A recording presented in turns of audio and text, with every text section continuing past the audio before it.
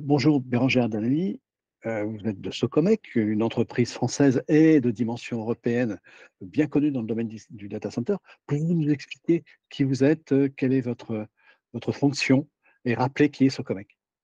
Bonjour Yves, donc merci, merci pour cette interview. Je m'appelle Bérangère Danelli et je suis business developer pour l'offre Power Conversion de Socomec. Donc, c'est tout ce qui est UPS et système de transfert statique pour la France, le Benelux, la Suisse et l'Amérique du Nord.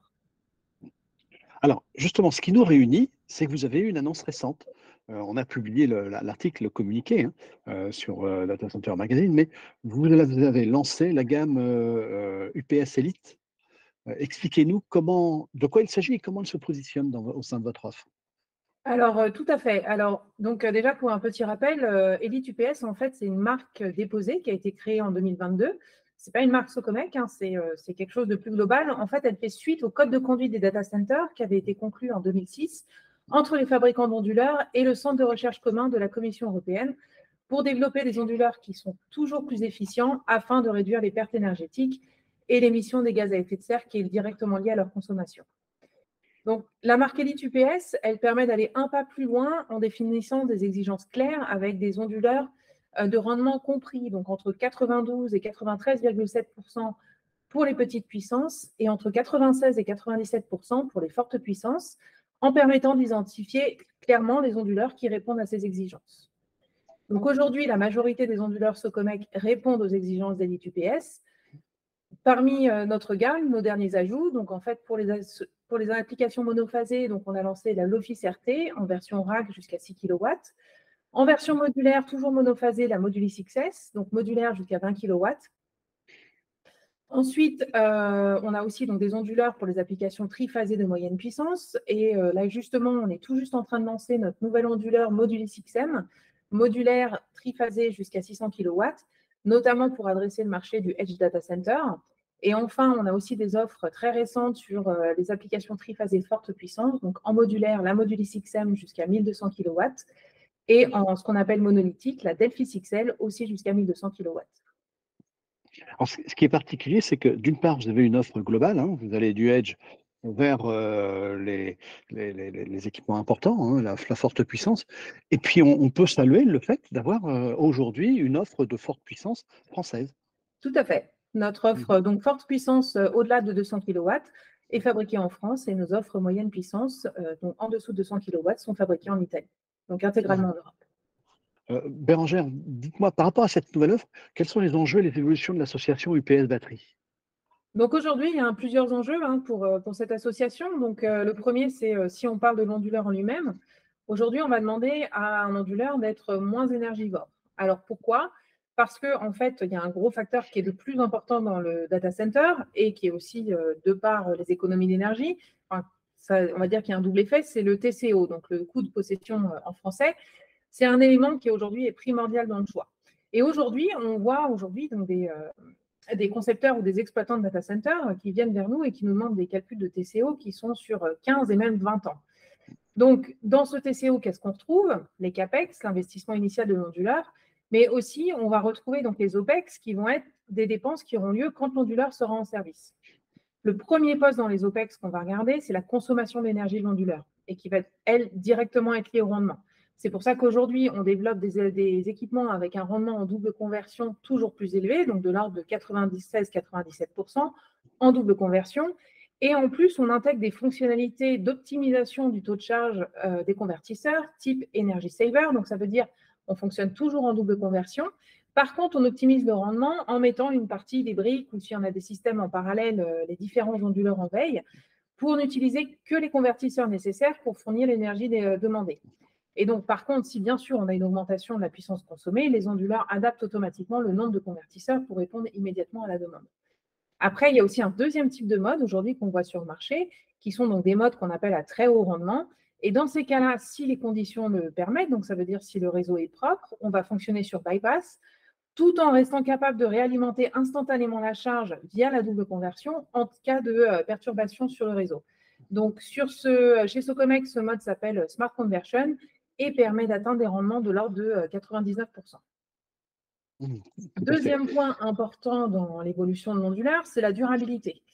dans les OPEX, il y a, exact, il y a aussi l'aspect maintenance. Et donc, c'est là aujourd'hui, on va jouer sur des solutions de type modulaire qui permettent de, de réduire le MTTR du système, en s'assurant toujours que l'onduleur reste disponible, donc en double conversion, pendant les opérations de maintenance.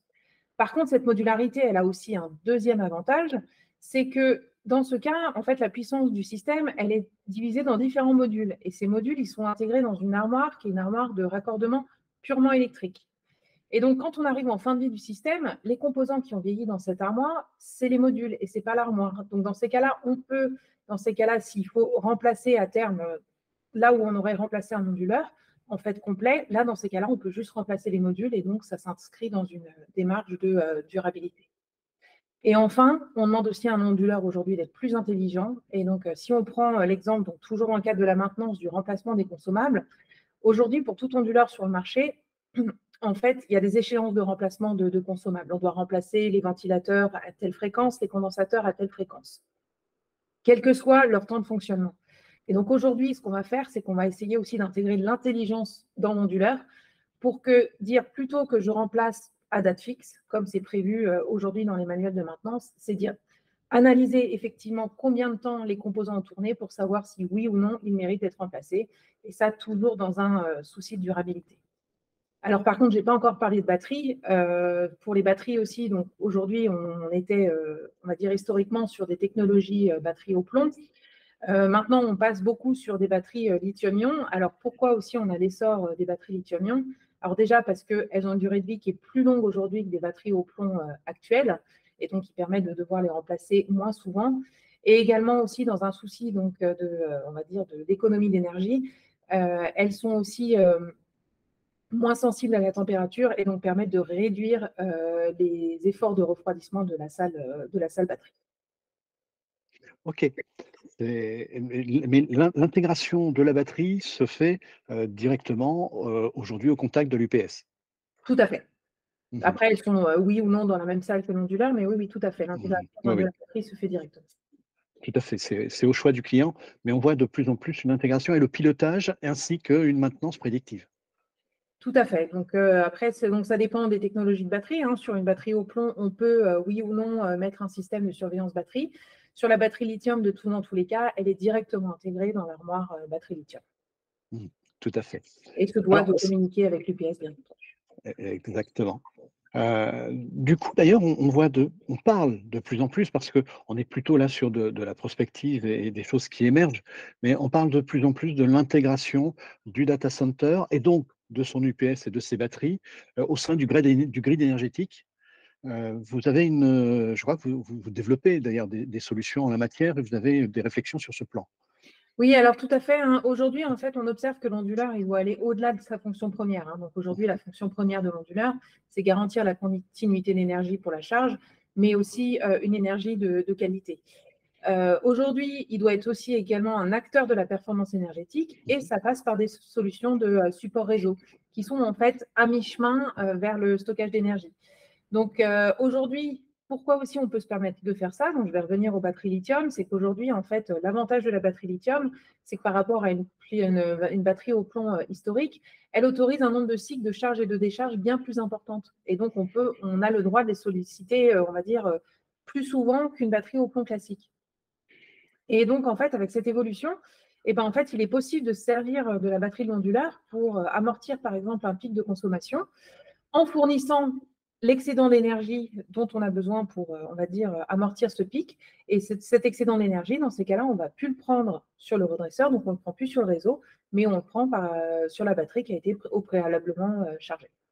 Mmh est-ce qu'on peut, en, conclusion, peut-être faire un peu de prospective Quels sont les domaines que vous regardez? Comment vous voyez un, peu l'avenir au niveau des UPS bah, alors, au niveau des UPS, euh, bah, on est toujours hein, sur des solutions, euh, justement. Hein, donc, euh, ça s'inscrit parfaitement dans Elite UPS, hein, donc avec des rendements toujours plus importants. Mmh. Donc, ça peut passer soit par la techno en elle-même, soit revoir également la, structure, la structure de l'onduleur.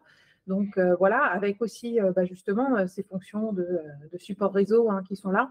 Donc, voilà vers quoi, vers quoi on s'augmente aujourd'hui. Et puis, bien sûr, toujours travailler sur la modularité parce que c'est aussi un élément Mmh important. oui, et, puis juste, c'est juste pour terminer sur le fait que que ce soit chez vous ou que ce soit chez vos concurrents, on constate de plus en plus le déploiement de solutions de gestion des UPS. voilà, c'est ce que j'allais dire. Je ne sais pas si ça vous parle. Alors je, pense, que vous voulez parler de connecter l'UPS Entre autres, hein, sur les, connexions, le pilotage externe, l'intégration dans les outils de DCIM. Oui, oui, tout à fait. Ben, en fait, donc aujourd'hui, donc avec nos UPS, c'est vrai qu'on propose donc des systèmes de cartes de communication classiques. Hein. On propose aussi une passerelle euh, web euh, donc, euh, sur laquelle vous pouvez récupérer toutes les informations de l'onduleur. Après, ce qu'on voit, c'est qu'aujourd'hui, il y a des demandes toujours plus connectées. Et alors, ça dépend. Hein, il y a aussi des aspects cybersécurité, etc., qui rentrent en jeu. nous aussi, sur le pilotage, sur, sur l'aspect communication, on s'en sert aussi pour, pour la partie service, en fait, où aujourd'hui aussi, on commence à offrir une offre de services connectés. alors, c'est, ça peut passer par de la maintenance à distance, en fait, hein, qui se fait par un processus alors, euh, le plus sûr possible, où on ne passe pas par la connexion euh, Ethernet de l'onduleur, on va plutôt passer par une clé USB Bluetooth, en fait, qui va permettre de virtuellement connecter le technicien à la demande du client à l'onduleur.